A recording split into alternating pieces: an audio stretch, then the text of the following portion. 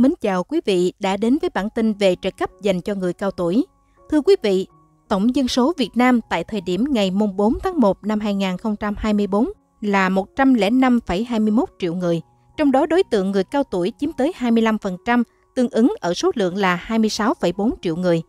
Chúng ta có thể thấy số lượng người cao tuổi theo thống kê ở mức tương đối cao. Điều này đặt ra nhiều câu hỏi băn khoăn trong việc chăm lo cho đời sống người cao tuổi. Cũng trong năm 2024, Bảo hiểm xã hội cũng thống kê được số người cao tuổi được hưởng lương hưu và không được hưởng lương hưu. Theo báo cáo, hiện nay cả nước có khoảng 16,9 triệu người cao tuổi đang được hưởng lương hưu, còn lại số người không có lương hưu ở mức 9,5 triệu người. Quốc hội đã thống nhất đề án trợ cấp cho người cao tuổi không có lương hưu để bảo đảm an sinh xã hội. Theo đó, nhà nước giao các địa phương báo cáo số lượng chi tiết đối với hộ gia đình để xét ra các đối tượng người cao tuổi cụ thể. Tùy từng đối tượng người cao tuổi, tùy từng hoàn cảnh sẽ được trợ cấp mức phù hợp tương ứng. Các đại biểu Quốc hội nhấn mạnh, không thể để các trường hợp trợ cấp mất cân bằng và gây bức xúc trong dư luận. Như vậy có nghĩa cần phân nhóm đối tượng người cao tuổi để trợ cấp, không thể có trường hợp người cao tuổi ở nhà giàu, có con phụng dưỡng, mức trợ cấp lại bằng nhóm người cao tuổi không có nhà để ở, không có con phụng dưỡng. Quốc hội đã thống nhất phương án trợ cấp cho người cao tuổi theo 4 mức tiền như sau. Mức 1, trợ cấp 360.000 đồng một tháng. Mức 2, trợ cấp 540.000 đồng một tháng. Mức 3, trợ cấp 720.000 đồng một tháng. Và cuối cùng là mức 1 triệu 080.000 đồng một tháng. Đương nhiên, ai cũng muốn được hưởng mức cao nhất, nhưng tất cả đều có điều kiện bắt buộc đi kèm.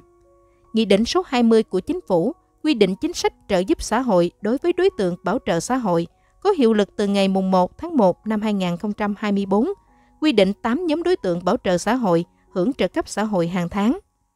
Theo đó, năm 2024, người cao tuổi thuộc một trong bốn trường hợp quy định sau đây sẽ được hưởng trợ cấp xã hội hàng tháng. Trường hợp 1, người cao tuổi thuộc diện hộ nghèo không có người phụng dưỡng hoặc có người có nghĩa vụ và quyền phụng dưỡng nhưng người này đang hưởng trợ cấp xã hội hàng tháng. Quý vị cần hiểu, để hưởng trợ cấp trường hợp 1 này thì quý vị phải là người trên 60 tuổi và nhà phải thuộc diện hộ nghèo, không có con cái phụng dưỡng hoặc người cao tuổi này phải nuôi con đang được nhận trợ giúp xã hội. Trường hợp 2, người cao tuổi từ đủ 75 tuổi đến 80 tuổi, thuộc diện hộ nghèo, hộ cận nghèo, đang sống tại địa bàn các xã, thôn, vùng đồng bào dân tộc thiểu số và miền núi đặc biệt khó khăn. Trường hợp 3, người từ đủ 80 tuổi trở lên không có lương hưu, trợ cấp bảo hiểm xã hội hàng tháng, trợ cấp xã hội hàng tháng. Trường hợp 4, người cao tuổi thuộc diện hộ nghèo không có người có nghĩa vụ và quyền phụng dưỡng, không có điều kiện sống ở cộng đồng, đủ điều kiện tiếp nhận vào cơ sở trợ giúp xã hội nhưng có người nhận nuôi dưỡng chăm sóc tại cộng đồng. Mức chuẩn trợ giúp xã hội áp dụng từ ngày mùng 1 tháng 7 năm 2021, 360.000 đồng một tháng. Như vậy năm 2024 vẫn áp dụng mức chuẩn trợ giúp xã hội là 360.000 đồng một tháng. Tùy theo khả năng cân đối của ngân sách, tốc độ tăng giá tiêu dùng và tình hình đời sống của đối tượng bảo trợ xã hội, cơ quan có thẩm quyền xem xét điều chỉnh tăng mức chuẩn trợ giúp xã hội cho phù hợp, bảo đảm tương quan chính sách đối với các đối tượng khác. Mức trợ cấp xã hội hàng tháng được quy định như sau. Hệ số 1,5 đối với người cao tuổi thuộc diện hộ nghèo không có người có nghĩa vụ và quyền phụng dưỡng hoặc có người có nghĩa vụ và quyền phụng dưỡng nhưng người này đang hưởng trợ cấp xã hội hàng tháng từ đủ 60 tuổi đến 80 tuổi, tương ứng được trợ cấp xã hội 540.000 đồng một tháng. Hệ số 2 Đối với người cao tuổi thuộc diện hộ nghèo không có người có nghĩa vụ và quyền phụng dưỡng, hoặc có người có nghĩa vụ và quyền phụng dưỡng, nhưng người này đang hưởng trợ cấp xã hội hàng tháng từ đủ 80 tuổi trở lên, tương ứng được trợ cấp xã hội 720.000 đồng một tháng. Hệ số 1. Đối với người cao tuổi từ đủ 75 tuổi đến 80 tuổi, thuộc diện hộ nghèo, hộ cận nghèo, đang sống tại địa bàn các xã, thôn, vùng đồng bào dân tộc thiểu số và miền núi đặc biệt khó khăn, và người từ đủ 80 tuổi trở lên không có lương hưu, trợ cấp bảo hiểm xã hội hàng tháng, trợ cấp xã hội hàng tháng, tương ứng với được trợ cấp xã hội 360.000 đồng một tháng. Hệ số 3 Đối với người cao tuổi thuộc diện hộ nghèo không có người có nghĩa vụ và quyền phụng dưỡng, không có điều kiện sống ở cộng đồng, đủ điều kiện tiếp nhận vào cơ sở trợ giúp xã hội, nhưng có người nhận nuôi dưỡng chăm sóc tại cộng đồng tương ứng với được trợ cấp xã hội 1 triệu 080.000 đồng một tháng. Tại kỳ họp thứ 6 của Quốc hội, Chính phủ đã trình Quốc hội dự thảo luật bảo hiểm xã hội năm 2024, dự kiến có hiệu lực thi hành từ ngày 1 tháng 7 năm 2025. Trong đó quy định, chế độ đối với người lao động không đủ điều kiện hưởng lương hưu và chưa đủ tuổi hưởng trợ cấp hưu trí xã hội. Theo đó, đối tượng là công dân Việt Nam đủ tuổi nghỉ hưu theo quy định của pháp luật, từ đủ 75 tuổi trở lên và không có lương hưu, trợ cấp bảo hiểm xã hội, xã hội hàng tháng khác theo quy định của chính phủ. Ngoài ra, tại quy định này cũng đề cập đến việc chính phủ phải báo cáo Quốc hội quyết định điều chỉnh giảm dần độ tuổi hưởng trợ cấp hưu trí xã hội như đã nêu trên, phù hợp với điều kiện phát triển kinh tế xã hội và khả năng của ngân sách nhà nước từng thời kỳ. Về mức tiền trợ cấp hưu trí xã hội hàng tháng, do chính phủ quy định phù hợp với điều kiện phát triển kinh tế xã hội và khả năng của ngân sách nhà nước từng thời kỳ. Đồng thời, tùy thuộc điều kiện kinh tế xã hội, khả năng cân đối ngân sách, kết hợp huy động các nguồn lực xã hội tại địa phương, nhà nước khuyến khích Ủy ban Nhân dân cấp tỉnh trình Hội đồng cung cấp để hỗ trợ thêm cho người hưởng trợ cấp hưu trí xã hội.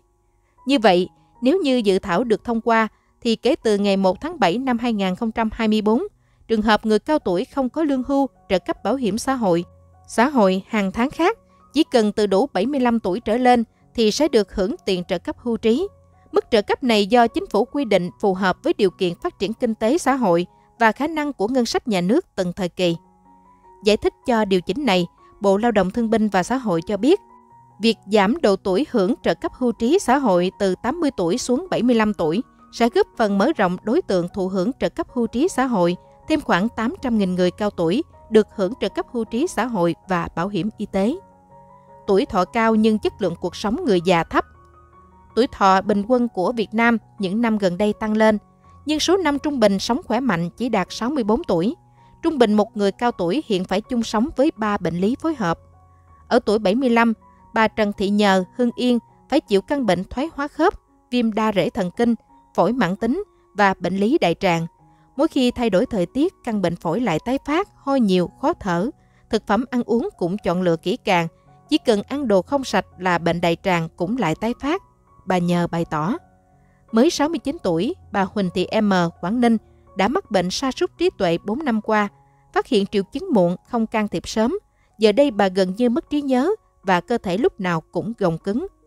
Chị Hoàng Thị L, con gái bà M, ngậm ngùi nói, nhìn mẹ thương rớt nước mắt bà vừa bị Alzheimer, vừa tiểu đường biến chứng gây suy thận, nên cơ thể suy kiệt không thể hồi phục.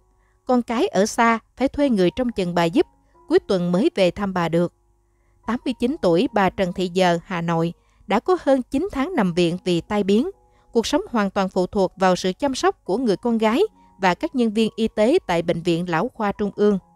Với những nỗ lực điều trị và phục hồi chức năng, hiện mẹ tôi có sức khỏe tiến triển tốt từ nằm liệt hôn mê không biết gì, giờ đã tỉnh táo hơn, có thể vận động được và đang tập đi lại.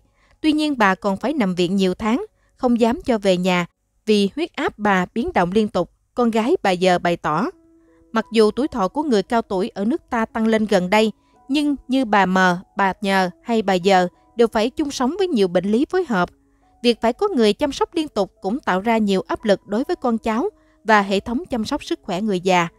Theo một nghiên cứu của Bệnh viện Lão Khoa Trung ương, những bệnh nhân trên 80 tuổi có đến 6 bệnh phối hợp như đái tháo đường, tăng huyết áp, thoái hóa khớp, Parkinson, sa sút trí tuệ, đột quỵ. Theo kết quả nghiên cứu của Viện Dân số, Sức khỏe và Phát triển Việt Nam, 62,3% người cao tuổi Việt Nam mắc bệnh tăng huyết áp và chỉ 86,3% trong số đó tiếp cận y tế.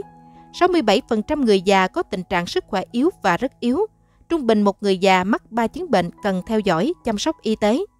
Dự báo năm 2049, số người cao tuổi có nhu cầu hỗ trợ tăng 2,5 lần so với mức 4 triệu hiện nay. Tỷ lệ người cao tuổi ngày càng gia tăng trong cơ cấu dân số, gây áp lực lớn lên hệ thống an sinh xã hội, hệ thống y tế, trong đó có chuyên ngành lão khoa. Với tình trạng bệnh lý và hội chứng lão khoa như vậy, khiến nhu cầu chăm sóc toàn diện với đối tượng này là rất lớn. Đó cũng là vấn đề cấp thiết cần giải quyết với hệ thống an sinh xã hội, môi trường chính sách của bất kỳ quốc gia nào. Số người cao tuổi ở Việt Nam liên tục tăng nhanh trong những năm trở lại đây. Hiện có khoảng 11,4 triệu người cao tuổi, chiếm khoảng 11,86% dân số.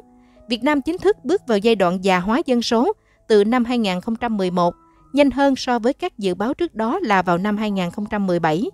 Như vậy, chúng ta đang là một trong những quốc gia có tốc độ già hóa dân số nhanh nhất thế giới.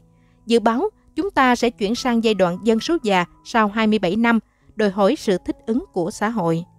Tổng cục Dân số Kế hoạch hóa gia đình cho biết, năm 2021, chỉ số già hóa đạt 53,1%, tức là cứ 100 trẻ em dưới 15 tuổi thì có khoảng 53 người già từ 60 tuổi trở lên. Việt Nam đang trong thời kỳ dân số vàng với tỷ trọng dân số trong độ tuổi lao động từ 15 đến 64 tuổi khá cao, chiếm 67,6% tổng dân số cả nước. Tuy nhiên, xu hướng già hóa dân số đang diễn ra nhanh chóng.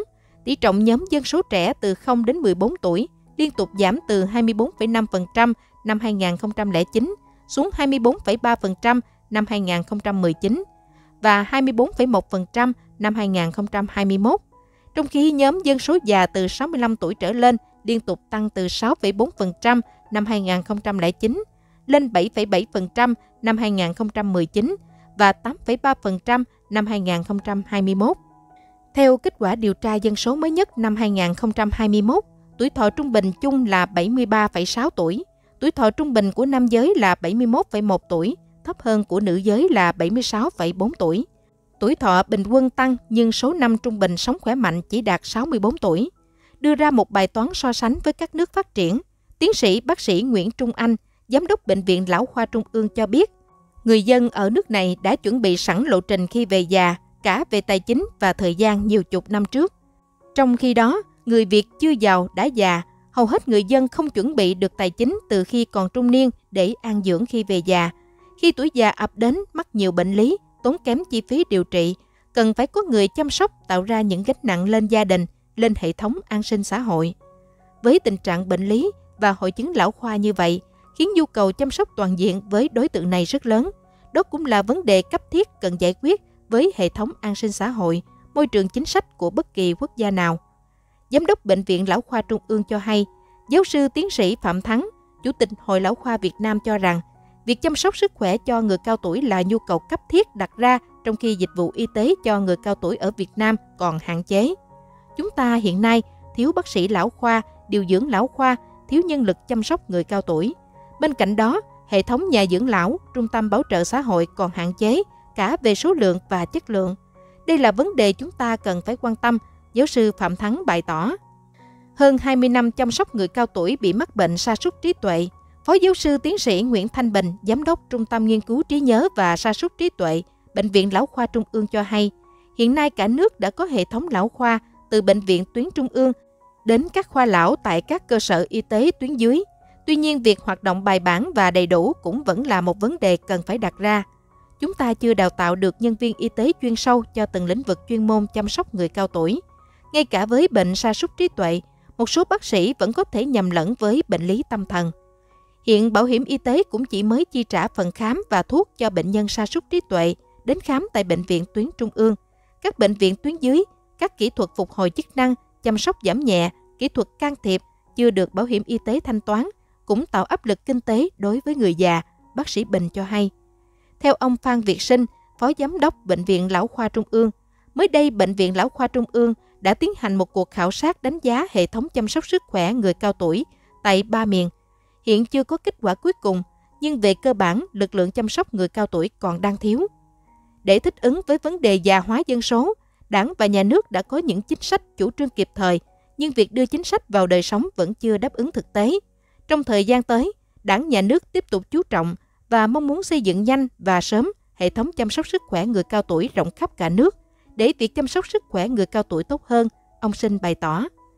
Trong khi chưa thể có được hệ thống chăm sóc sức khỏe người cao tuổi thật tốt, theo xu thế chung của thế giới, Giám đốc Bệnh viện Lão Khoa cho rằng cần phải hỗ trợ cho người cao tuổi kiến thức và kỹ năng tự phục vụ bản thân. Ước tính 50% thành công của việc chăm sóc điều trị người cao tuổi đến từ vấn đề dinh dưỡng và phục hồi chức năng, do đó cũng cần phổ biến kiến thức bài tập đến cộng đồng. Chúng ta chuẩn bị cho tuổi già bằng trang bị kiến thức khoa học cho họ và cho cả những người trong gia đình họ, bác sĩ Trung Anh nói. Bên cạnh đó, ngành y tế cần sớm tăng cường đào tạo nhân lực bác sĩ và điều dưỡng chăm sóc, xây dựng các mô hình, chương trình đào tạo tốt để đáp ứng chuyên môn cho người làm chuyên ngành. Để đối phó với tình trạng già hóa dân số, Bệnh viện Lão Khoa Trung ương đã xây dựng chiến lược nâng cao chất lượng chăm sóc trên người cao tuổi, thông qua các chương trình tăng cường các nghiên cứu chuyên sâu về người cao tuổi giữa Bệnh viện Lão Khoa Trung ương và các trường đại học uy tín trên thế giới, hỗ trợ phát triển khung chương trình đào tạo bác sĩ lão khoa, điều dưỡng lão khoa, người chăm sóc, trao đổi học viên, liên viện, liên trường đại học. Trên đây là toàn bộ nội dung chia sẻ về một mức trợ cấp người cao tuổi mới nhất năm 2024. Cảm ơn sự quan tâm và ủng hộ của quý vị đối với kênh. Chúng tôi luôn nỗ lực mang đến những thông tin hữu ích và cập nhật về các chính sách, pháp luật mới từ chính phủ. Nếu quý vị thấy những nội dung kênh cung cấp hữu ích và đáng giá, thì quý vị hãy like và đăng ký kênh để cập nhật thường xuyên các chính sách pháp luật mới nhất từ chính phủ. Còn bây giờ, xin chào và hẹn gặp lại quý vị và các bạn trong những video tiếp theo.